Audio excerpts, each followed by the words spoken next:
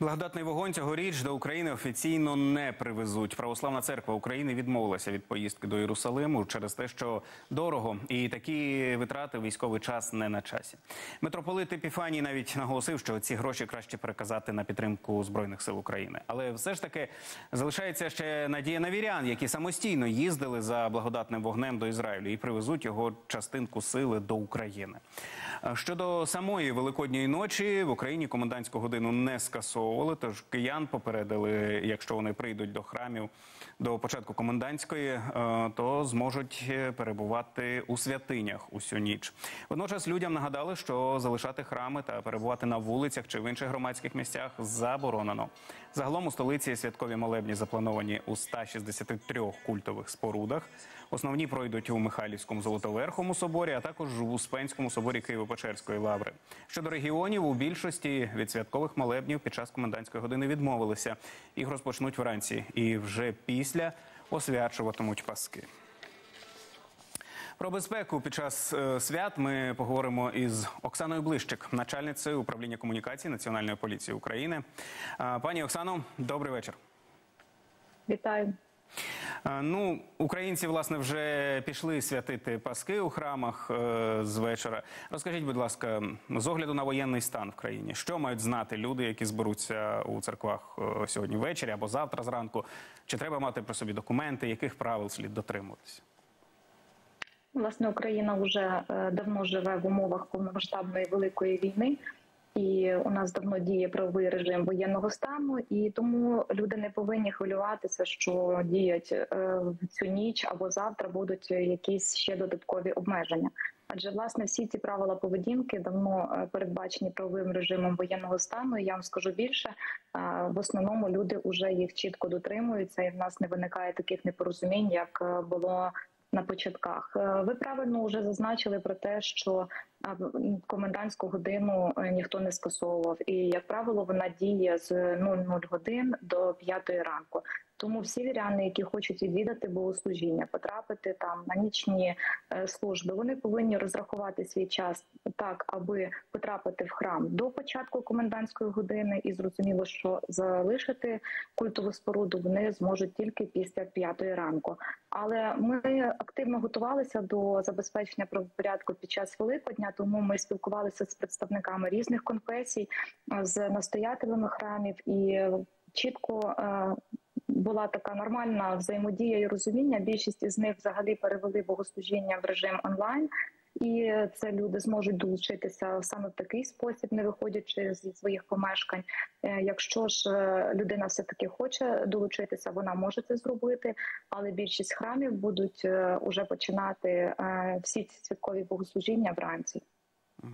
А на випадок повітряної тривоги, до речі, чи у багатьох храмів є якісь укриття, чи є взагалі така інформація?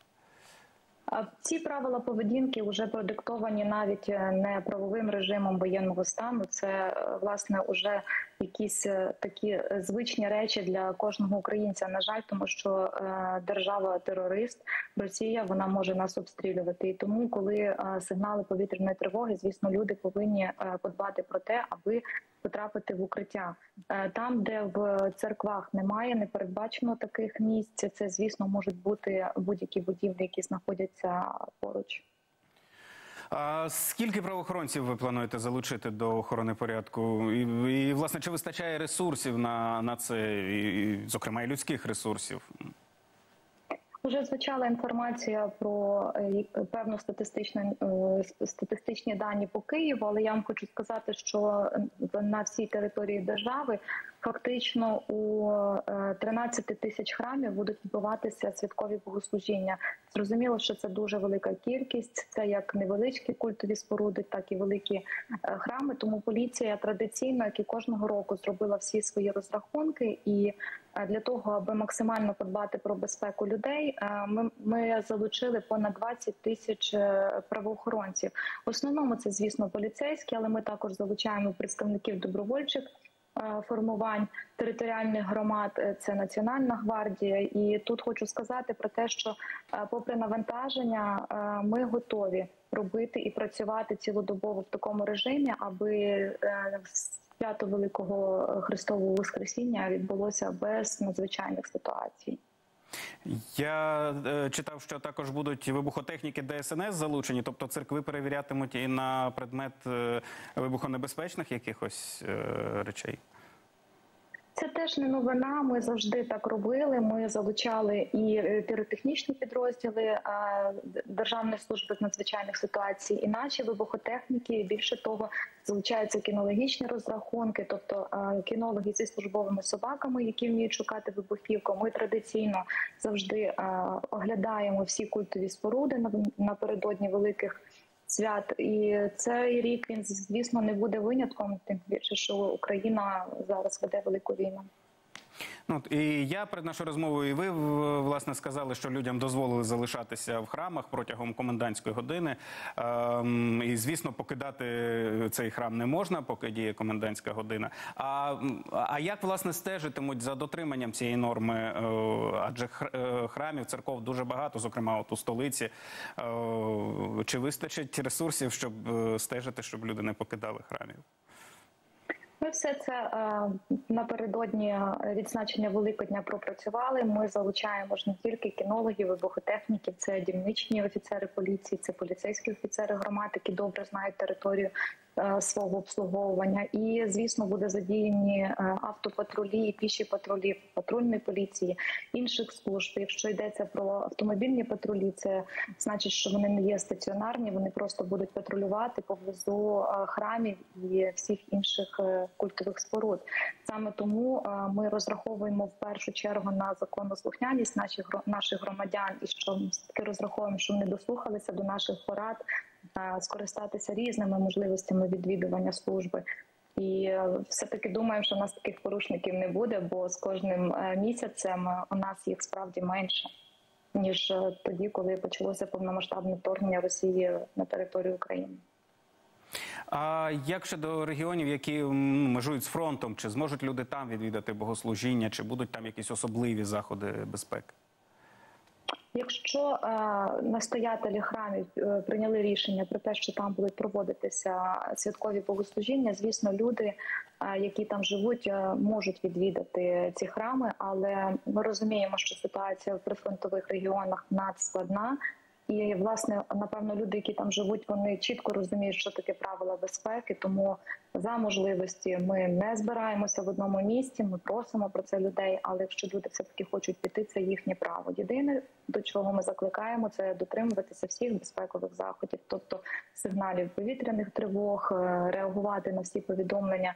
Про можливі обстріли, про початок обстрілів, тому що ми розуміємо, що е, Росія немає нічого святого, і Великдень для неї не може не бути перепоною, щоб не обстрілювати наші е, міста і села. Стосовно деокупованих територій, всім відомо, що там дуже висока мінна небезпека. От на Харківщині ми буквально е, щодня читаємо повідомлення, що люди підриваються там. Як забезпечуватимуть безпеку в таких районах?